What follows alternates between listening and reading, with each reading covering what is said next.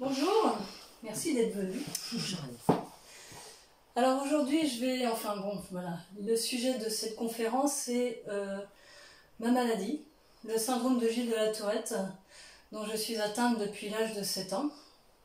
Voilà, donc euh, au jour de cette euh, conférence, j'ai 53 ans. Donc ça a fait un bail que je me trimballe cette maladie. En fait, c'est pas vraiment une maladie, c'est un syndrome.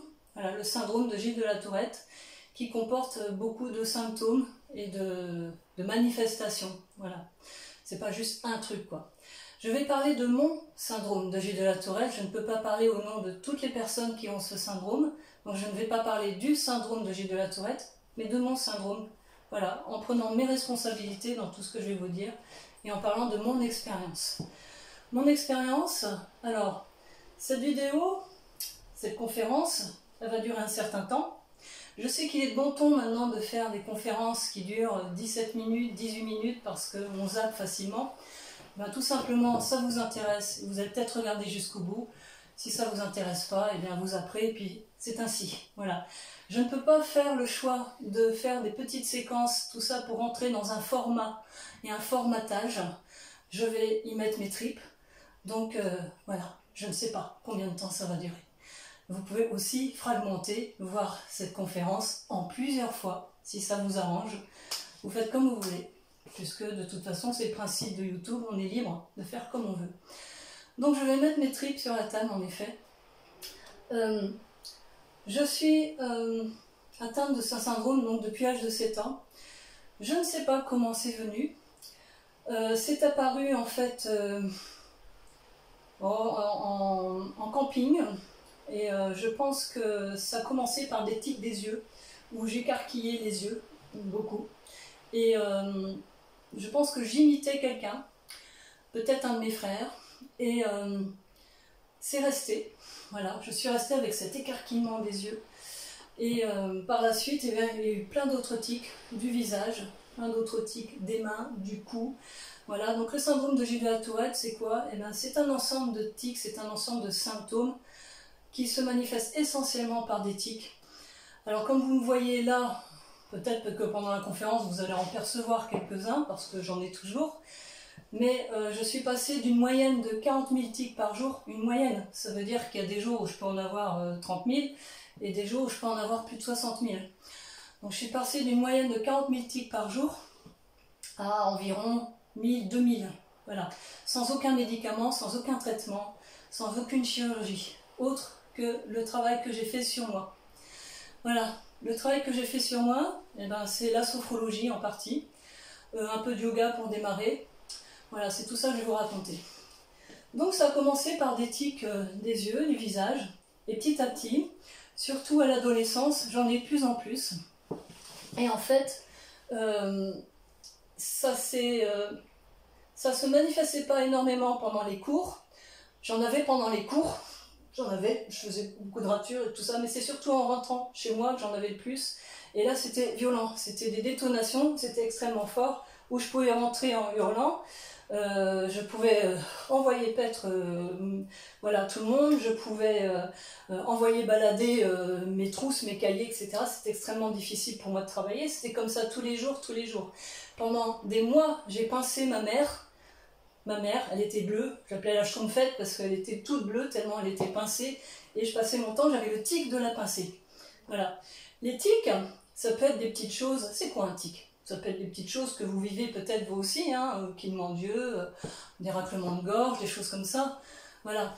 Euh, le syndrome de Gilles Tourette, c'est une multitude de tics, c'est pas juste un seul, assemblé à des tics vocaux, à des tics verbaux aussi, donc des tics vocaux ça peut être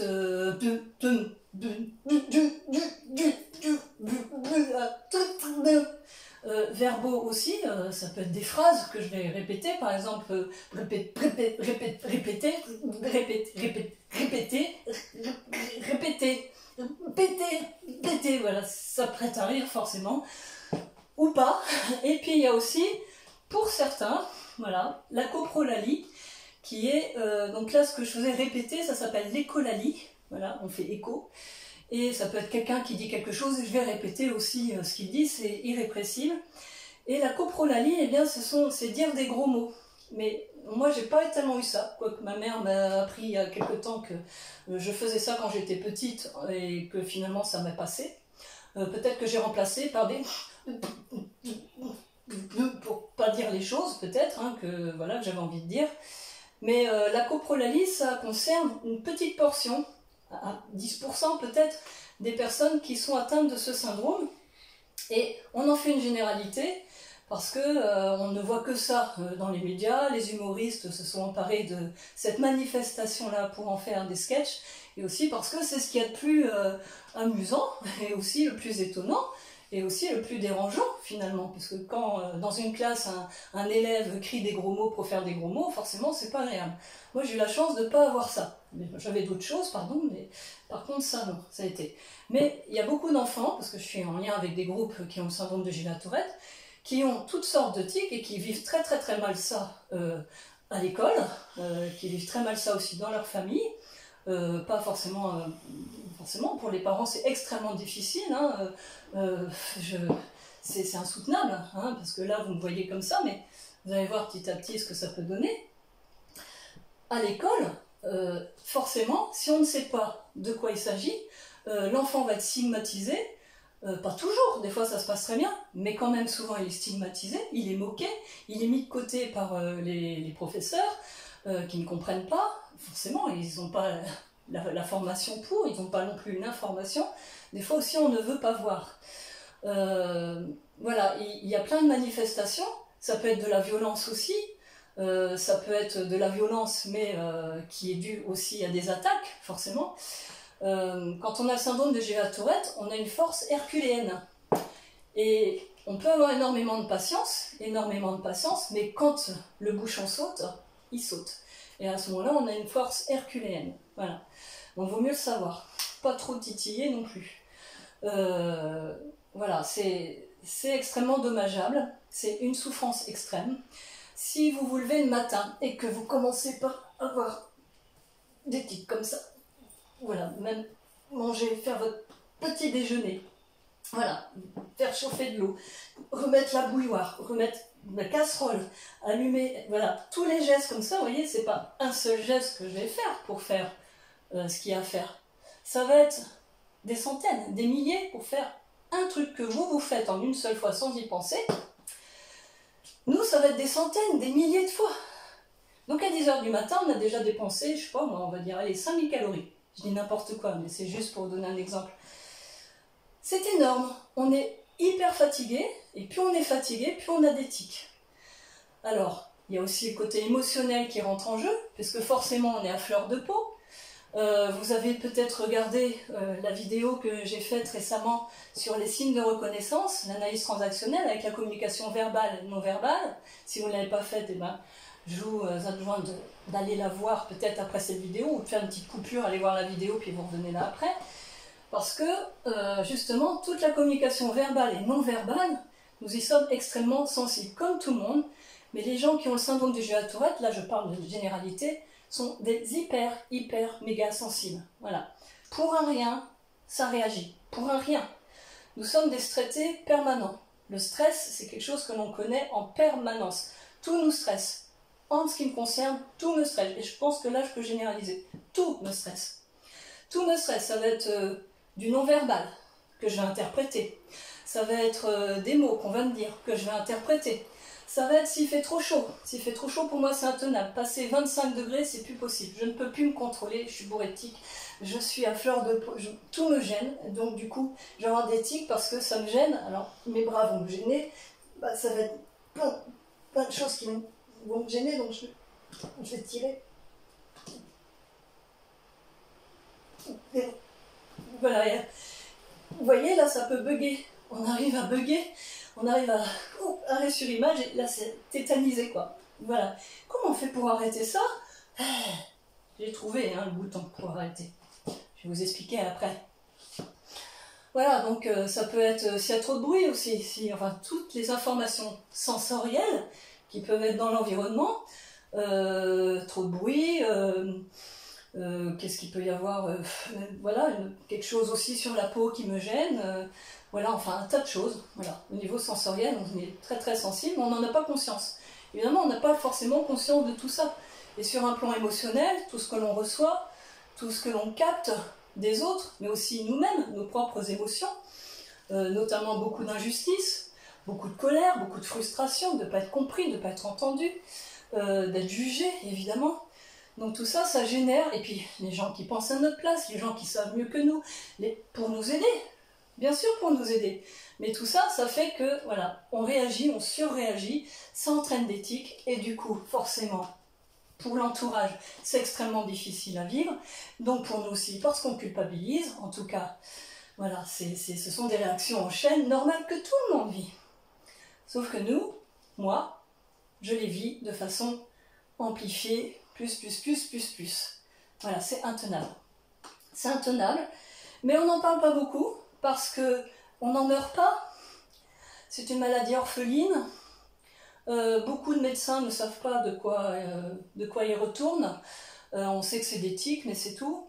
les spécialistes eux-mêmes bah, savent beaucoup de choses, mais ils ne savent pas tout, hein, et puis ça patauge un petit peu. Donc bah, il y a des médicaments hein, qui sont à l'essai, on essaie pour certaines personnes, des dosages, etc. Puis maintenant on en arrive aussi à la chirurgie en posant des électrodes hein, pour arriver peut-être à un résultat euh, euh, bah, voilà, vraiment vivable, mais c'est quand même assez risqué. Il y a 18 ans, euh, j'ai rencontré un neurologue, donc je suis sophrologue. Je suis sophrologue depuis plus de 25 ans. Voilà, la sophrologie est une rencontre primordiale pour moi. J'ai rencontré ce sophrologue, enfin je suis allée voir ce neurologue 5 ans après avoir commencé mes études pour voir s'il n'y avait quand même pas des traitements qui pourrait, peut-être m'aider en plus de ce que j'avais fait. Il faut savoir qu'au bout de deux années de sophrologie, j'avais diminué de 80% mes symptômes. Rien qu'en faisant de la sophrologie. Voilà. Donc euh, je suis allée le voir. Il n'avait rien à me proposer au niveau médicamenteux, mais il m'a dit, si un jour vous pouvez écrire un livre sur votre parcours, sur votre expérience, faites-le, parce que nous, euh, on patauge. Voilà, c'est une maladie neurologique euh, génétique, neuromusculaire, etc., extrêmement complexe, que les scientifiques, que les spécialistes ont beaucoup, du mal, beaucoup de mal à, comprendre. Voilà. On avance quand même, hein, mais c'est quand même pas de la tarte. Et comme c'est une maladie qui n'est pas très répandue, parce que c'est à peu près 1 sur 10 000, quoi qu'on n'en sait rien, parce que moi je suis pas répertoriée, hein, je me suis jamais fait euh, répertorier, donc euh, voilà, je suis je suis en, retraite, tout ça. Euh, c'est pas, ça se trouve, il y en a plus. Hein. Voilà, 1 sur 10 000. Bah, finalement, c'est pas très intéressant pour, euh, bah, pour la médecine, pour, pour les scientifiques, en fait. Hein. Donc, on est un petit peu abandonné dans tout ça. Voilà. Donc, moi, je me suis mise à la sophrologie, sans doute pour, pour me guérir. Alors c'est un mot que j'emploie euh, pas souvent, mais je ne pense pas être guérie et euh, voilà. Et je ne suis pas sûre de vouloir vraiment guérir parce qu'en fait, euh, avec cette, ce syndrome, eh bien, et le travail en sophrologie, j'ai beaucoup, beaucoup, beaucoup appris sur moi. Donc j'ai pu en fait analyser tous les tenants, les aboutissants de cette maladie, en tout cas en moi. Voilà. Et là, c'est vraiment là que je vais pouvoir parler de, de mon expérience. Je pense déjà au départ qu'il y a un fort pourcentage hormonal, puisque euh, en ce qui me concerne, en tout cas, ce syndrome s'est déclaré vers l'âge de 7 ans, s'est accentué à l'adolescence avec la puberté énormément et a continué ensuite, euh, voilà, maintenant ça va mieux parce que voilà, je, sais euh, apprivoiser tout ça, mais je pense qu'il y a un gros lien. Je ne sais pas si c'est comme ça pour toutes mes, mes, mes congénères euh, féminines, mais en tout cas, en période de règles, c'est hyper accentué, euh, ovulation hyper accentuée, donc jamais tranquille. La pilule, peut-être, euh, a été un, facteur qui, a pu permettre de, de, poser un petit peu le jeu. Ça peut être bien. Donc au niveau hormonal, je pense qu'il y a des recherches à faire à ce niveau-là. Pour les garçons, par contre, je ne sais pas trop comment ça se passe, mais il y a peut-être des recherches aussi à faire à ce niveau-là. Euh, ce que j'ai remarqué, donc on, dit toujours, on dit souvent que euh, les tics sont euh, involontaires. C'est involontaire. Pour moi, non. Mes tics ne sont pas involontaires. ils ne sont pas non plus volontaires. Ils sont irrépressibles. C'est pas la même chose. Irrépressible comme l'envie d'éternuer. Voilà. On ne veut pas éternuer. Mais on éternue, c'est irrépressible. Voilà. Et là, c'est pareil. C'est irrépressible. C'est-à-dire que si j'ai dans l'idée de faire un mouvement, je vais le faire jusqu'à ce qu'il soit parfait et de façon saccadée. Parce qu'un tic, c'est quoi en fait? Eh bien, un tic, c'est une contraction maximale d'un groupe de muscles avec en même temps la contraction maximale des muscles antagonistes. C'est-à-dire que là, je contracte au maximum mes triceps et en même temps mes biceps qui vont freiner le mouvement. Et c'est comme ça que j'arrive à ça. Sinon, ça ferait ça. Il n'y aurait pas de... Voilà. Ça ferait ça. Et même là, je freine. ça ferait quoi autrement? Ça pourrait se terminer par quelque chose de très relax, je ne sais pas. En tout cas, chaque tic est à la fois la contraction des muscles responsables et des muscles antagonistes. Ce qui fait qu'il y a une décharge énorme, voilà, d'adrénaline, de tous les, de cortisol, de toutes les, hormones de stress, mais au niveau aussi euh, musculaire, euh, une décharge énorme d'énergie. Voilà. Sans compter tout ce qui euh, a trait à la, contraction musculaire, le calcium, le magnésium, le sodium, tout ça, voilà. Donc on a en même temps une énorme dépense de sels minéraux et, donc on, est vite en, déficit aussi. Voilà. Donc ça aussi, ça a besoin d'être compensé. donc ces mouvements euh, très très forts, euh, qui sont irrépressibles, sont faits non pas une fois, parce que si c'était juste une fois, ça serait cool, mais plusieurs fois, jusqu'à satisfaction de, de, de ce qu'on... Bah, du, geste parfait peut-être. Hein. Voilà. Alors si j'imagine par exemple que je veux euh, fermer la porte. Voilà, donc je vais fermer la porte. Je vais fermer la porte, mais je vais la fermer. Je vais m'y reprendre. Je vais m'y reprendre. Je vais m'y reprendre. Alors ça peut s'associer à un toc aussi, hein, souvent vais m'y reprendre. Jusqu'à ce que ce soit parfait. Mais ça sera jamais parfait. Donc à un moment donné, il faut bien que dans ma tête, il y ait quelque chose qui se passe pour stopper le truc, quoi. Sinon, c'est pas possible, je vais pas faire ça toute la journée. J'ai autre chose à vivre. Et c'est comme ça pour tous les gestes. Ça va être ça, ça va être autre chose. Et puis, il y a aussi les tics qui sont dus à la peur, qui sont dus à l'émotion. Je me souviens d'une fois où euh, je faisais euh, de l'acrobranche avec, euh, avec une de mes sœurs et puis sa famille. Et tout le monde et puis j'avais mes enfants qui étaient petits. Et donc je devais, mon mari s'occuper d'un enfant, moi d'un autre, et puis ma soeur d'un de, ses enfants, et puis etc. Donc on avait tous la responsabilité. Alors eux, ils étaient déjà partis hein, à faire le parcours débutant pour démarrer, initiatique. Moi j'étais là à enfiler mon baudrier. Enfiler mon baudrier. Vous, vous enfilez un baudrier, vous ne posez pas de questions. Vous enfilez, plouf, plouf, vous montez, pof, pof. Vous enfilez votre culotte, vous ne posez pas de questions. Vous enfilez vos chaussettes, vous ne posez pas de questions. Vous n'avez même pas conscience que vous êtes en train d'enfiler vos chaussettes, votre culotte ou votre baudrier. Et ben voilà. Alors enfiler un baudrier, pour moi, c'est surtout quand les autres ont commencé, c'est une source de stress énorme. Entre toutes les autres sources de stress, parce que j'ai le vertige, parce qu'il va falloir que je m'occupe de mon gamin en même temps, parce que ceci, parce que cela. Voilà. Donc euh, c'est épouvantable, le baudrier, je peux pas le mettre. Je, je peux, je peux pas. Je, je peux pas le mettre. C'est impossible, il, faut, il me faut de l'aide. Aidez-moi Aidez-moi à enfiler mon baudrier Pas ma culotte. Mon baudrier, oui Ma sœur qui me connaît, une de mes sœurs qui me connaît parce qu'elle a vécu quand même un petit moment avec moi, donc j'ai six frères et sœurs qui sont tous beaucoup plus âgés que moi. La dernière de mes sœurs a 8 ans plus que moi. C'est celle qui a vécu le plus longtemps avec moi. Elle sait ce que j'ai vécu. Donc elle est venue vers moi et elle m'a aidé à enfiler mon baudrier. Je me suis laissé faire. En ce temps-là, je me suis calmée. Ensuite, on a fait le parcours initiatique et puis après tout le bazar. Voilà. C'était horrible parce que moi, à, chaque pas, c'est pas simplement le vertige, c'est que je suis bourrée de tics. C'est pas juste la tétanie du stress, du vertige, c'est que ça entraîne plein, plein de tics. Donc, avec, voilà, faut être hyper concentré pour pour, pour pouvoir avancer un peu. Pendant ce temps-là, mon gamin qui avait 4 ans, lui, il avait déjà filé. Hein non À la fin du parcours, j'étais épuisée. On m'a dit, t'en fais un autre? Ah, Non, moi j'en ai déjà fait 4 là, tu vois, donc euh, je vais pas en faire un autre, c'est pas possible. Hein. J'étais mignonne.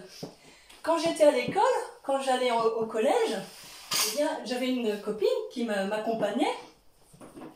Et pendant le chemin, eh bien, je faisais ça. Je sais pas si vous allez voir, mais je marchais comme ça. À chaque pas, je faisais ça. Surtout du côté droit.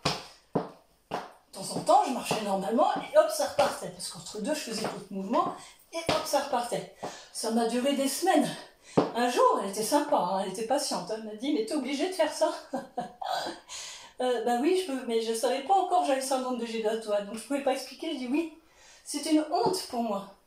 J'ai porté ça comme une honte pendant des années, des années, des années, jusqu'à l'âge de 29 ans, où j'ai su ce que j'avais. Je me suis pas fait diagnostiquer par un médecin ou autre, parce qu'on n'en parlait pas du tout de cette maladie à l'époque. À mon époque, on n'en parlait pas du tout.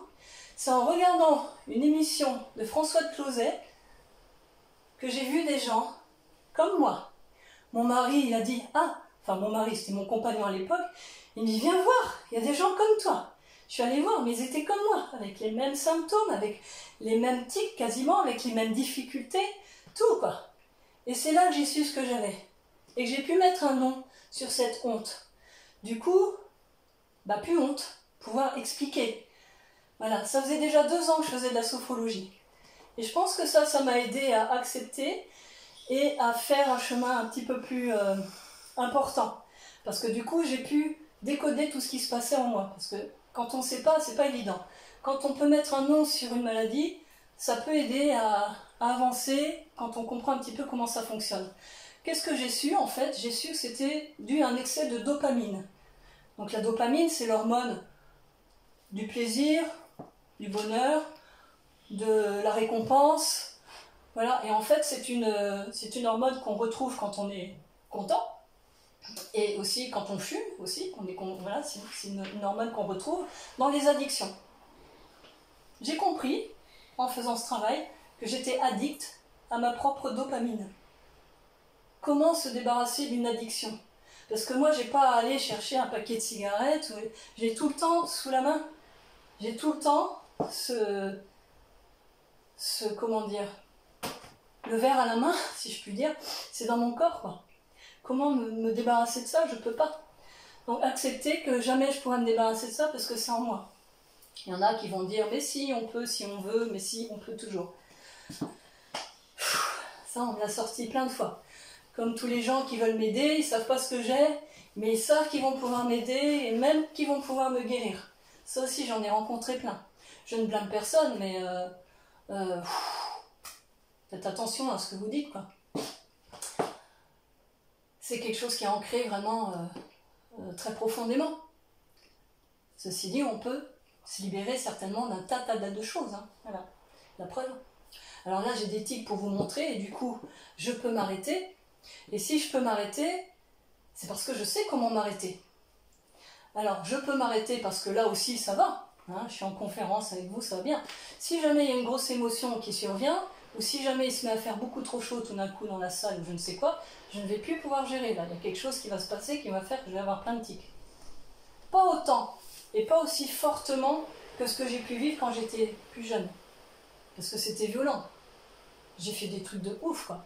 Je me suis cogné la tête, je peux me cogner la tête contre le mur, je me suis fracassé là le front contre ma portière, voilà, à plusieurs reprises en plus. Bon, je me suis soignée, mais j'aurais pu perdre un œil. Voilà, je ne compte pas le nombre de fois où je me cogne le crâne contre, contre des portes de placard. Encore maintenant, ça m'arrive.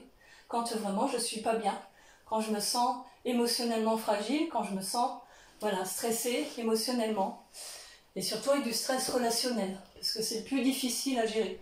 Pour tout le monde, c'est le plus difficile. Le stress relationnel, venant de la relation. Voilà, parce que là, ça touche à nos souffrances égotiques, à nos souffrances profondes, voilà, à, tout ce qu'on a eu euh, comme injonction quand on était plus jeune, qui nous ont formatés dans certaines croyances, dans des besoins aussi, des besoins voilà, qui n'ont pas été satisfaits. et un tas de, de, croyances, de, de, résistance aussi. Voilà. Et à chaque fois ça touche à ça, en fait, à chaque fois que ça touche à une de mes valeurs, de mes besoins, poum, ça réagit. Alors il y en a plein de besoins et de valeurs, et puis pour vous c'est pareil. Vous avez plein de valeurs, vous avez plein de besoins qui ne sont pas satisfaits, vous avez plein de croyances, et certainement pour vous, quand on touche dessus, eh ben, ça vous fait réagir aussi. Pas forcément de la même manière, mais ça vous fait réagir aussi. Voilà, peut-être que vous allez avoir des symptômes, des réactions dans votre corps, des façons de penser, peut-être que vous allez euh, avoir envie de fumer ou je ne sais quoi, en tout cas ça va faire des réactions. Pour ce qui me concerne moi, à la rigueur, c'est pas grave, je suis bourré de tics, ça, ça déclenche plein plein de tics, c'est pas grave. C'est juste épuisant, c'est juste que je vais devoir m'y reprendre à 15 000 fois, c'est juste que je peux quand même casser beaucoup de choses, c'est juste que je peux envoyer balader beaucoup de choses aussi, je peux envoyer aussi balader les gens, je peux être extrêmement agressive, je peux être violente aussi, pas envers les gens hein, physiquement, mais envers des objets, envers, envers moi-même, extrêmement violente envers moi-même. Voilà, moi je ne me mutile pas, mais il y a des gens qui se mutilent hein, avec ça. Voilà, donc euh, c'est pas facile de s'en défaire parce que ça nous habite et que c'est en permanence. Il n'y a que la nuit que j'ai pas de tic, quand je dors. Voilà, quand je dors. Mais dès le matin, c'est parti mon kiki. Sauf que maintenant, eh bien, euh, c'est plus tout à fait comme ça. Puisqu'à force de travailler sur euh, moi, donc euh, j'ai compris comment ça fonctionnait au niveau corporel, les mécanismes, voilà, le stress, voilà, tous les stimuli, tous les agents stressants. Donc en fait, toute la journée, dès qu'il y a j'ai plus de tics, eh bien, je prends conscience de ce qui a pu me stresser. Est-ce que c'est sensoriel? Est-ce que c'est quelque chose qu'on m'a dit? Qu'est-ce que ça touche chez moi? Et donc je vais pouvoir travailler dessus parce que j'ai créé un procédé qui permet de travailler dessus. Voilà, pour sauver ma peau. Hein. du coup, ça peut peut-être aussi vous intéresser. Euh, et puis, il y a aussi le fait qu'il y a l'adrénaline. À chaque fois qu'il y a un stress, il y a une montée d'adrénaline et de cortisol quand ça dure. Et quand ça dure, eh ben, dans le syndrome de Tourette, ça dure, ça dure toujours longtemps. Parce qu'on ne peut pas arrêter un tic comme ça. Donc une fois que c'est parti, il va y avoir d'autres tics derrière, il va y avoir d'autres tics derrière, d'autres tics derrière, et ça va, ça va déclencher forcément un taux de cortisol élevé dans le sang qui va, en, qui va entretenir ce stress. Donc on s'en sort pas. C'est un cercle vicieux dont on ne se sort pas. On s'en sort quand on est épuisé, quand on ne peut plus. Alors souvent, il y a d'autres tics qui se rajoutent. Ça peut être des tics vocaux en plus, des tics verbaux, ça peut être des, des choses voilà, qui sont infernales le truc, euh, voilà, je dis pas, moi, les yeux, les pieds. J'avais un, tic à un moment donné, c'était de recroqueviller, quand j'étais plus petite, de recroqueviller mes pieds dans les chaussures. Alors mes semelles étaient toutes recroquevillées. Et j'avais super mal aux pieds, euh, c'est super mal à l'intérieur, sous la plante des pieds, là, c'était infernal, tellement c'était recroquevillé tout le temps. Et euh, pas moyen de m'arrêter, quoi. Je sais pas combien de temps j'ai dû avoir ce tic, pendant deux mois peut-être. Toutes mes chaussures étaient abîmées, c'était atroce. Je sais pas. Je pense que j'ai arrêté parce que j'étais épuisée, parce que j'avais trop mal. Parce qu'en fait, souvent ce qui m'arrête, ce qui m'arrêtait, parce que c'est plus le cas, c'était la douleur. Ça va être des tendinites, ça va être euh, des, des, pas des entorses, mais des, des contractures tellement fortes, notamment au niveau du cou, que je me bloquais le cou. Donc là, les séances d'ostéopathie, de kiné à gogo, mais ça sert à rien parce que dès qu'on est sorti du cabinet, je plaf, c'est reparti. De nouveau des tics. Alors le tic là qui vient, c'est tourner la tête. tourner la tête, voilà. Tourner la tête, toujours aller voir derrière ce qui se passe, tourner la tête. Voilà, ça c'est quelque chose qui est très... Je ne dis pas l'intensité des contractions dans des muscles du crâne, du cou, partout, qu'on ne contracte jamais, normalement. Ou pas comme ça. Donc on est, enfin je suis, on est bourré de douleur. Voilà. Pour ma part, j'ai des micro-tendinites un petit peu partout dans le corps, notamment au niveau du bassin, qui m'empêchent de faire des marches assez longues d'ailleurs. Plein de choses. C'est pour ça que je fais aussi beaucoup d'assouplissement. Je suis aussi prof de culture physique et je fais aussi beaucoup d'assouplissement tous les jours parce que c'est comme ça aussi que je peux gérer, euh, enfin en tout cas éliminer les tensions, les douleurs. Donc il y a ce niveau de stress, de cortisol dans le sang qui est euh, élevé. Comment arriver à le faire descendre? C'est physique ça, c'est physiologique, c'est physique. Et c'est pour tout le monde pareil. Sauf que là, ça prend des proportions inouïes. Eh bien, c'est aussi en prenant conscience de ce qui se passe au niveau mental et au niveau émotionnel. Si je n'ai pas conscience de ce qui se passe au niveau mental, de tout ce que je rumine dans ma tête, des imageries mentales que je peux avoir, et au niveau émotionnel, ce que je ressens, si c'est de la rage, de la colère, de la frustration, un sentiment d'injustice ou autre, c'est difficile à, arrêter le processus. Donc en fait, admettons que j'ai l'idée de refermer la porte. Bien, nickel.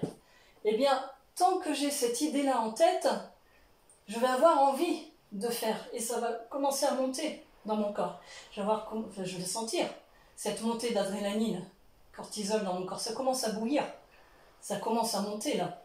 Et là, je peux le réfréner parce que j'ai conscience de ça. Grâce à la sophrologie, au travail que j'ai fait, je suis en capacité de me poser physiquement. J'ai appris à me poser parce que vous savez, là en ce moment, vous êtes posé. On est tous posés, hein. toute la journée, on est posé. Et eh, vous flottez pas en l'air, hein. C'est un scoop On est posé, mais on n'en a absolument pas conscience. C'est la conscience. Qu'est-ce qu'on développe avec la sophrologie? C'est la conscience. La conscience de soi dans toutes ses dimensions. D'abord corporelle, parce que c'est on est, on est fait de ça, on est fait de chair, on est fait d'os, on est fait de nerfs, de muscles, etc. Et puis aussi la conscience de nos pensées, la conscience de nos émotions et les interrelations entre tout ça. Et la conscience de nous, de notre présence là, la conscience de, de, de, comment dire, de l'impact de l'environnement sur nous, notre relation avec le monde extérieur, grâce au travail que l'on fait sur notre sensorialité, qui nous donne un rapport au monde euh, beaucoup plus euh, expansé et, beaucoup moins étriqué, beaucoup moins euh, centré sur nous-mêmes. D'accord? Donc ça permet de, de prendre un petit peu le large, de relativiser et aussi de prendre conscience de notre existence. Avec le travail en sophrologie, il y a énormément de techniques en sophrologie, donc c'est pas juste se relaxer. D'ailleurs, ça sert pas spécialement à ça la sophrologie. Hein.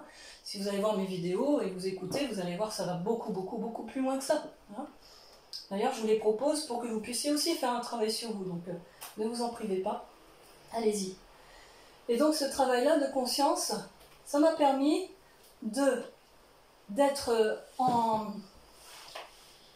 voilà si j'ai conscience que je veux faire un mouvement que voilà je, veux faire ce truc là je me vois en train de le faire eh bien je vais arrêter de me, me voir en train de le faire je vais stopper mon imaginaire et ça on peut apprendre ça en sophro notamment avec le travail sur l'objet neutre dont je parle dans les séances. ça va aider, c'est un démarrage, qui va aider à maîtriser le mental. Je peux m'arrêter de penser, d'imaginer que je vais faire quelque chose. Du coup, ça fait descendre cette envie. Le, mental, l'émotionnel sont reliés hein, avec le corps, on ne peut pas les dissocier, c'est pas possible. Hein.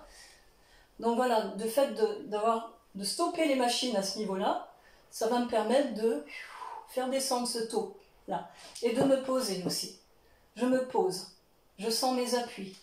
Faites l'expérience. Si vous vous posez, vous sentez vos appuis, vous vous posez physiquement et vous vous posez mentalement. Et vous posez aussi dans votre respiration. Il y a tout qui se pose, et le mental aussi. Tout se pose. Donc ça commence par quelque chose de physique. Et à partir de là, je peux stopper aussi mon mental mon imaginaire. Parce qu'en en fait, je vais m'imaginer en train de faire quelque chose qui n'est pas forcément utile de faire. Et je vais m'imaginer à la place que la porte, elle est fermée.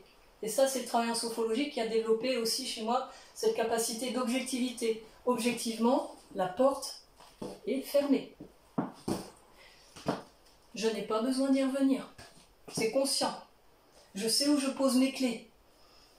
C'est conscient. J'ai pas besoin d'y revenir à chercher partout dans la maison. Oh, est-ce que mes clés, mes clés, mes clés, oh mon portable, où est-ce que j'ai mis mon portable? Parce que je sais où je les ai mis. Ça vous parle bah Là, moi, c'est imaginer que je fais un mouvement.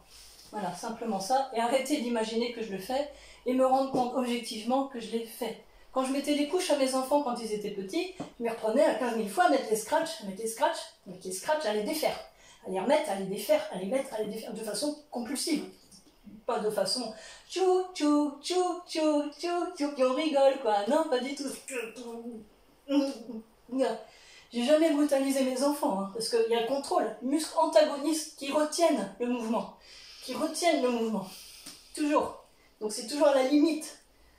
quand je mettais par exemple euh, des trucs dans le blender et tout ça, euh, ou quand je fais des choses avec des couteaux, des choses comme ça, ou le fer à repasser, j'ai cette tentation de mettre les mains dedans, puis d'être à la limite de la coupure, de la limite du couteau, la limite quand je coupe, la limite quand je, me, quand je repasse, de mettre la main, le, repassage, le dans le joue, sur la joue, mais je le fais pas. Et puis quand je, quand je me coupe les, enfin, des, enfin bref, les ciseaux, pareil, tiens, dans les yeux, mais jamais je me mets dans les yeux.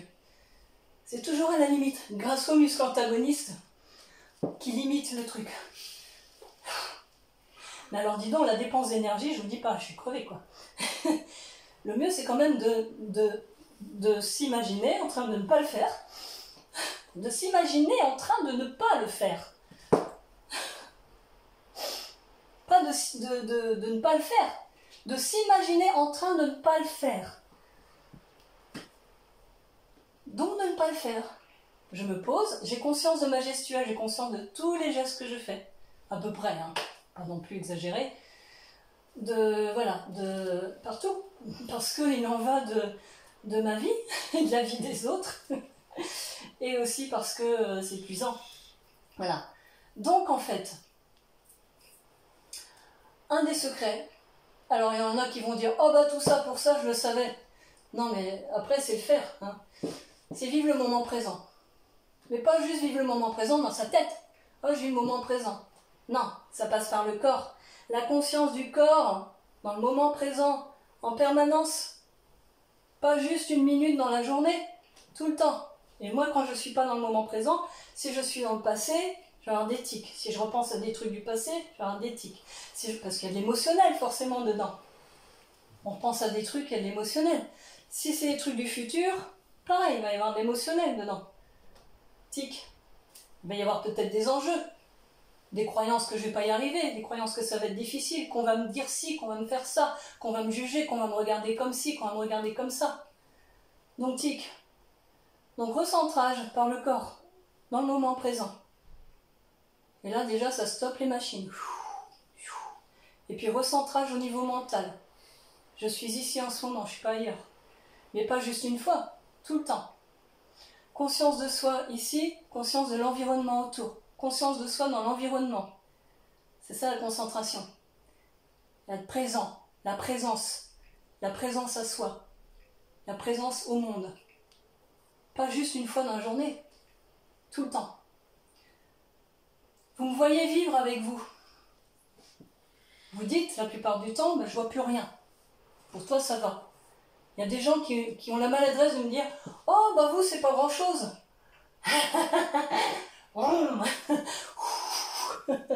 non, c'est pas. Merci, merci madame, ça me fait plaisir parce que ça prouve que j'ai fait un sacré travail sur moi. parce que c'est pas grand chose. Non, c'est plus grand chose maintenant, mais c'est une maîtrise. Et je parle de maîtrise et pas de contrôle. Le contrôle, c'est justement euh, retenir, euh, dans la résistance, lutter, ne pas accueillir. Et là, c'est tout le contraire. Avec la sophrologie, j'ai appris à accueillir. La première chose que j'ai appris, c'est accueillir. Accueillir les sensations, quelles qu'elles soient. Ni positives ni négatives, on s'en fout, ça c'est une vue de l'esprit. Agréable, pas agréable. Ok, accueillir. Accueillir ce qui se passe en moi avec tics, accueillir la montée d'adrénaline, accueillir les, les muscles qui commencent à bouillir, accueillir les images mentales qui me poussent à. Et là, j'en fais quoi? Choisir, avoir conscience de ce qui se passe. Et je choisis. Je vais là-dedans, je vais pas là-dedans. Parce que j'ose le dire, c'est peut-être un petit peu présomptueux, mais c'est une question de choix. Je sais que ça peut se choisir. Des fois, c'est irrépressible, on peut pas. On peut pas parce que l'émotion est trop forte. Le stress est trop fort. Et on, ne peut pas. On peut pas se retenir, c'est pas possible. On peut pas maîtriser plutôt. On se retient mais on ne peut pas maîtriser. La maîtrise, ça demande une conscience de soi, une connaissance de soi, de ses mécanismes physiques, psychiques, émotionnels, relationnels, qui amènent à lâcher prise et l'accueil justement de ce qui se passe en soi, au niveau physique, mental, émotionnel, relationnel, etc. Ça mène, c'est le premier pas, l'accueil. L'accueil, c'est-à-dire aborder toute chose comme si c'était la première fois, sans a priori, sans rien attendre, sans jugement, sans jugement. de soi, de ce qu'on vit, sans commentaire, sans interprétation. Les interprétations, c'est terrible. C'est vachement dur de ne pas interpréter. Voilà. L'accueil est le premier pas du lâcher prise, vers lequel on va pouvoir aller ensuite vers un certain respect de soi. Ok, je me prends comme je suis.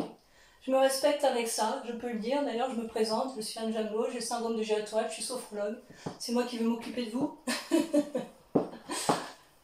non, mais voilà, chose que je ne pouvais pas dire avant. On se moquait de moi, forcément, ça me faisait mal. Maintenant, je peux être à la, à la, à la, à la caisse d'un magasin. Si je sens qu'il y a des gens qui s'impatientent parce que je suis un petit peu longue à mettre dans mes sacs, admettons, parce que j'ai des tics. Si j'ai des tics, ben, si je sens qu'on attend, ben, je vais avoir plus de tics parce que ça va causer un stress pour moi, je vais culpabiliser, puis ça va m'énerver que je sente l'impatience de la caissière dans son non-verbal. Pas besoin de le dire, son non-verbal, je détecte. Suffit pas grand-chose pour détecter l'impatience de quelqu'un. Après, j'interprète peut-être, évidemment. Mais n'empêche que c'est là. C'est là. Donc, euh, ben voilà. Donc, il va falloir que je me pose.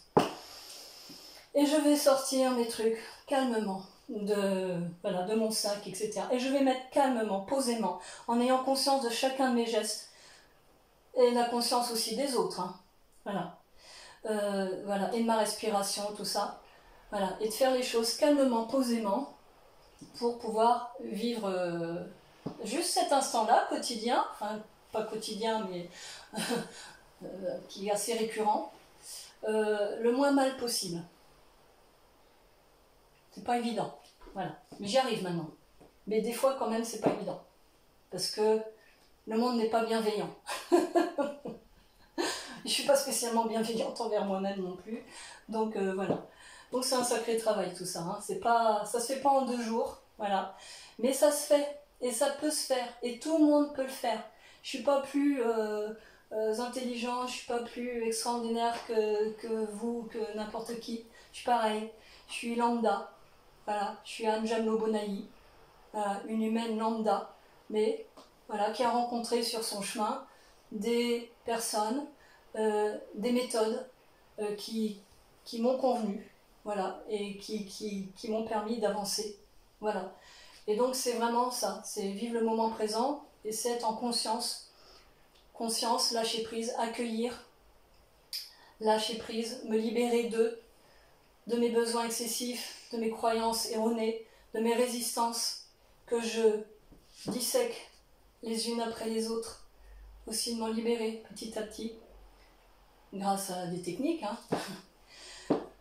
Et c'est tout ce travail-là qui fait que je peux être maintenant, euh, non pas guérie, mais dans une vie euh, euh, hautement satisfaisante, voilà, certainement beaucoup plus, je vais pas dire calme, parce que je m'en fous d'être calme ou pas, authentique, voilà, tout ça c'est un travail d'authenticité. Parce qu'en fait, je peux résumer en disant, si je ne suis pas authentique, je suis authentique. Voilà, d'ailleurs j'ai écrit un bouquin là-dessus.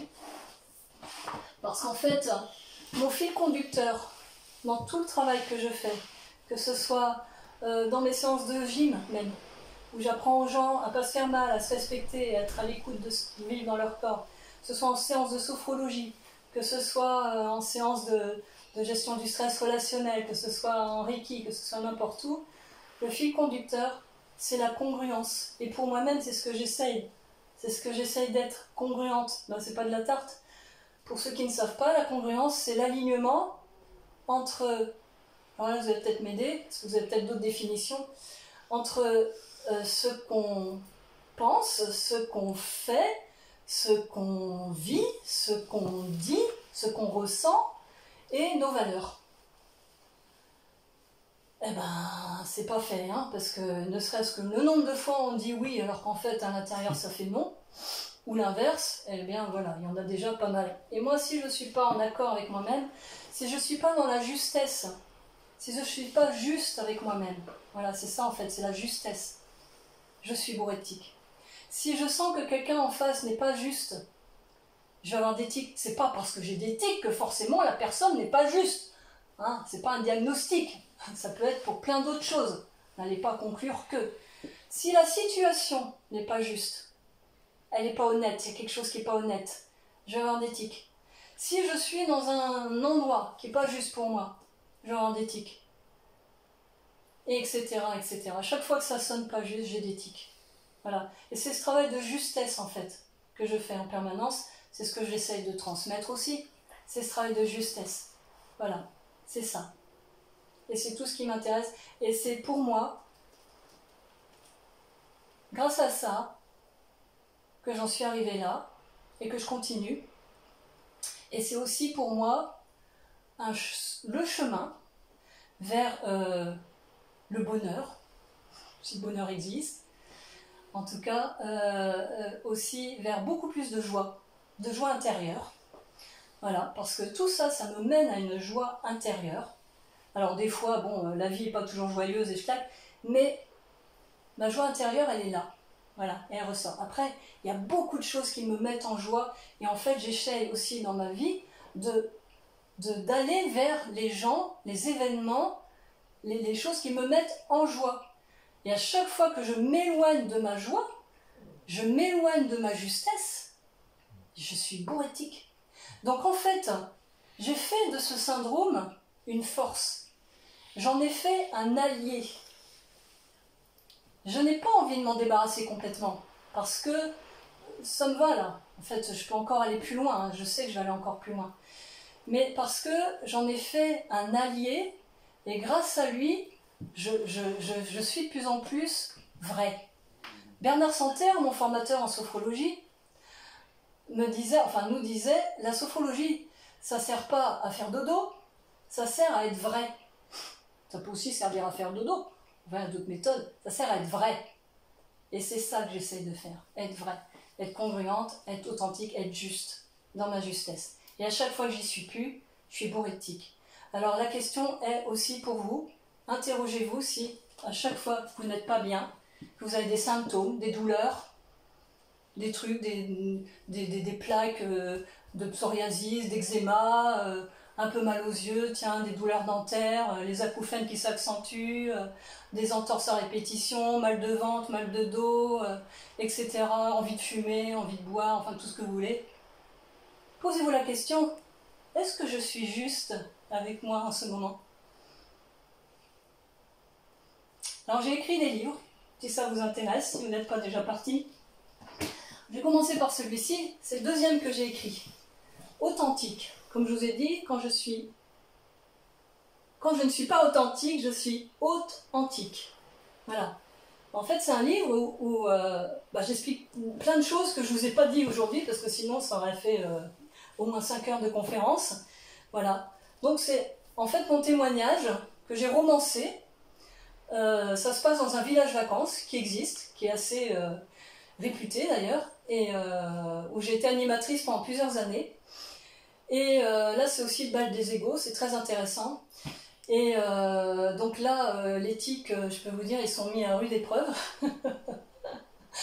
et en même temps, donc, bah, ça m'a permis, j'ai choisi ce cet espace-temps, voilà, pendant à peu près 4 jours, hein, euh, pour euh, délivrer tous mes messages, toutes mes informations, tout ce que je peux euh, peut-être vous apprendre, vous enseigner, ou, ou peut-être que vous pouvez puiser là-dedans aussi des informations qui peuvent compléter les vôtres, qui peuvent intéresser des personnes qui sont concernées par syndrome de Julia Tourette, la famille aussi, mais aussi les médecins, le corps médical, qui, qui, ne sait pas grand-chose vraiment là-dedans.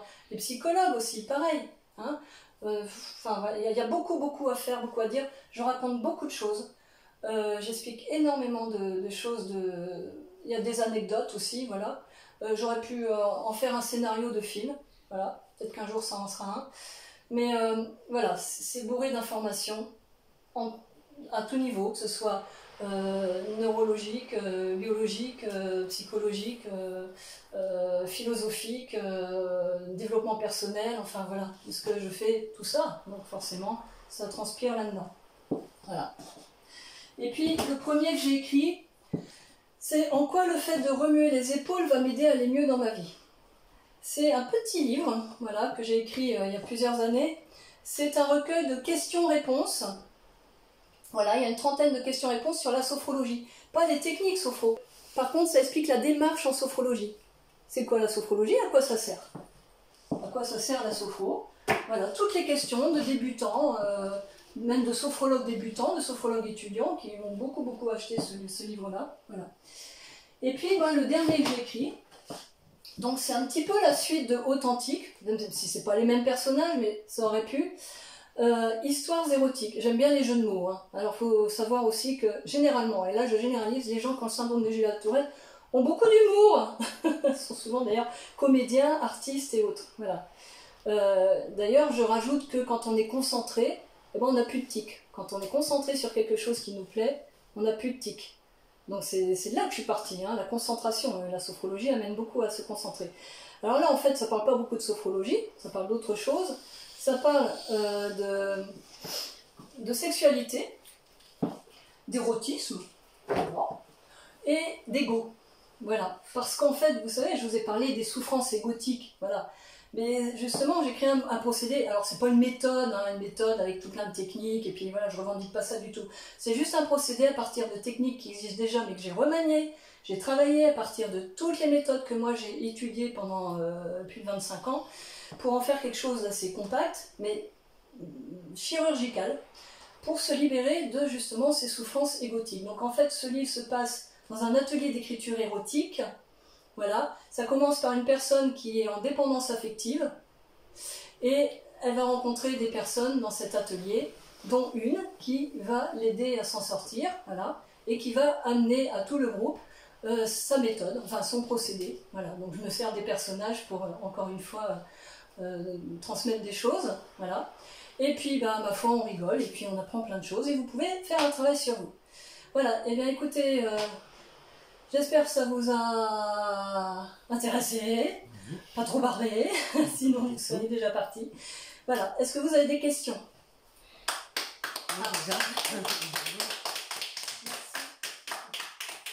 Moi, je voudrais intervenir juste euh, pour euh, témoigner de ce que ce qui a pu être ta survie pour ton équilibre, ça peut devenir un luxe pour des gens qui n'ont pas tes problèmes. Voilà. Et que ça concerne tes tes, items, ils concernent tout le monde, pour peu qu'on s'autorise à vouloir être dans la joie que tu, mm. que tu exprimes. Mm.